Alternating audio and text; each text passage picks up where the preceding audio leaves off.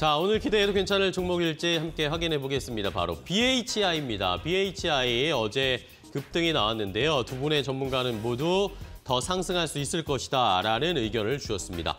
자, BHI가 새 정부의 정책 수혜 업종이 업종으로 분류되면서 역시 이 모멘텀으로 상승할 수 있을 것이다 라고 의견 주셨고요. 다른 한 분은 이 수주가 증가할 것이다 라는 기대감도 역시 이 BHI의 상승 모멘텀이다 라는 의견을 주셨습니다. 과연 두 분의 의견처럼 BHI가 더 잘 상승하고 올라갈 수 있을지 함께 분석해 보도록 하겠습니다. 자, 오늘 기대해도 괜찮아는 두 분과 함께 하도록 하겠습니다. 레몬 리서치의 김민수 대표 그리고 DB금융투자 잠실지점의 김병수 PB 모셨습니다. 두 분 안녕하세요. 반갑습니다. 자, 오늘은 BHI를 보겠습니다. BHI가 또 상승부를 켜면서 좋은 흐름을 나타내고 있는데 자, 어떤 분이 먼저 BHI 의견 좀 설명해 주실까요? 김병수 PB님. 네, BHI 같은 경우에 어제죠. 이제 원전 수혜로 이제 조금 네. 오래된 한10% 가까이 상승하다가 살짝 반납하면서 끝나는 모습을 보였습니다. 어떻게 보면 새 정부의 이제 정책 수혜 업종 중에 대표적인 게 원자력 발전이 아닐까 생각이 들고 있는데 매출 구성 같은 경우에는 HRSG라고 표현되는 배열 회수 보일러 이쪽에서 한 대략 한 57% 그리고 보일러에서 14%가량 나오는 업체라고 알려져 있습니다. 네. 어, 물이 이제 HRSG 본체 관속을 지나게 되면서 순식간에 수증기로 변하게 되고 이 힘으로 터빈을 돌리는 어떻게 보면 친환경 에너지의 뭐, 뭐 끝, 끝이자 시작이다라고 표현할 수가 있어서 LNG 발전의 효율을 좌우하는 핵심 기술이다라고 표현이 되고 있습니다. 네. 어제 같은 경우에는 이집트의 원전 2차 측 건설 사업 계약이 임박했다라는 소식이 알려지면서 원전 업종이 좀 관심을 받았는데 1차 측이 러시아 쪽 소속 수주였기 때문에 어, 대, 이제 미국에서 이제 뭐, 뭐 러시아의 제재가 나오지 않을까라는 걱정이 있었지만 가능할 것이다라는 뭐 긍정적인 이야기가 나오게 되면서 좀 관심을 받게 됐습니다. 어, 이번에 새 정부에서 이제 원전 지원책이 중소벤처 기업부 쪽에서 1조 원 가량 나오게 됐는데 어, 원전 자체라기보다는 원전 기업 또는 원전 하청업체들을 살리기 위한 방법이 아닐까라는 이야기가 나오게 되면서 좀 많은 관심을 받고 있었고 특히 이달 저- 전달 말이었죠. 6월 말에 이- 유럽연합 EU에서 천연가스와 이제 원전을 그린 텍소노미라고 표현되는 친환경 업종이나 친환경 에너지 발전이다라고 포함이 되게 되면서 어, BHI 같은 경우에는 핵연료 전자, 저장 기술이 부각이 되면서 주가가 한번 오르는 모습을 보이기도 했습니다.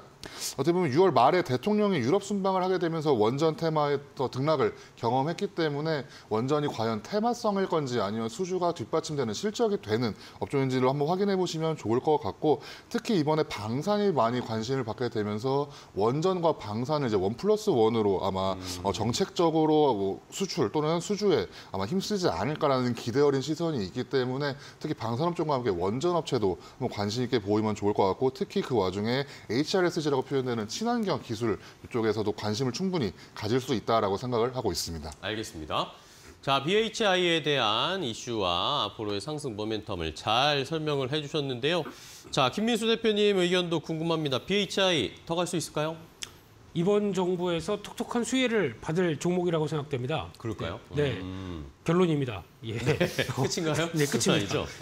네. 어, 어, 그래서 일단 보일러의 강자인데요. 네. 어, 거기서 이제 배열 회수 보일러라고 앞서 PB님께서 얘기하셨던 HRSG 이쪽이 네. 가장 매출의 중심을 차지하고 있다 보니까 여기서 나오는 실적 여파가 상당히 좀 크다고 봐야 될 것 같고요. 그 밖에 이제 복수기는 모든 발전에 다 쓰죠. 물을 네. 공급하는 어, 쪽으로 보시면 될 것 같은데, 근데 여기서 이제 어, 지금 유럽도 그렇고 한국도 그렇고, 그러니까 즉 LNG 어, 가스로 이용한 발전이나 원자력 발전 이 두 개가 앞으로 어, 이제 그린 텍소노미에 포함돼서 정책을 이끌겠다라고 네. 하게 되면 정책이 들어오게 되면 당연히 돈이 들어가죠. 어, 그에 따라서 나올 수 있는 효과를 보게 되면 그 두 가지를 다 한다라고 했을 때 가장 수혜가 높은 회사라고 보시는 게 맞을 것 같고요. 어떻게 어, 먼저 LNG 복합 발전 같은 경우는 최근 들어서 대규모 프로젝트가 증가하는데 이게 이제 플랜트 산업이 커지면서 플랜트가 확대가 될수록 엘- 이쪽에 들어가는 발전 쪽은 이 지금 추세를 보게 되면 LNG가 가장 많이 들어가고요. 네. 그럼 거기에 또 필수 가결한 이 배열회수 보일러가 또 들어간다라고 했을 때 플랜트와 같이 크는 경향들이 좀 있고요. 게다가 또 최근에 나온 얘기는 네옴시티라고 하는 여기도 이제 수주가 들어갈 수 있겠다라는 음. 쪽도 얘기가 나오고 있는 거고요. 두 번째는 원자력 관련된 쪽인데 핵 연료 저장 기술을 갖고 있습니다. 네. 그러다 보니까 이 부분이 어, 이제 부각을 받고 있는 상황들이고 어, 또 정부가 2025년까지 1조 원 이상 신규 일감을 마련하겠다라고 하게 되면 그에 따라서 수혜를 받을 수 있겠죠.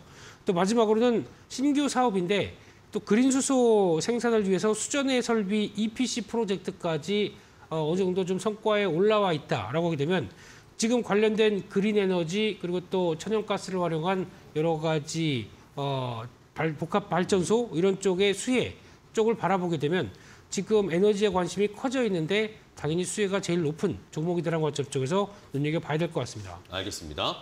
자, BHI 역시 이새 정부의 가장 큰 수혜를 받을 수 있는 정책적인 수혜를 받을 수 있는 종목으로 김민수 대표님은 꼽아주셨고 앞으로의 상승 모멘텀 충분하다 두 분의 의견이 공통적으로 좀 모였습니다. 과연 BHI 오늘도 더 상승하면서 앞으로 좋은 수익 또 좋은 모습 보여줄 수 있을지 저희도 한번 지켜보도록 하겠습니다.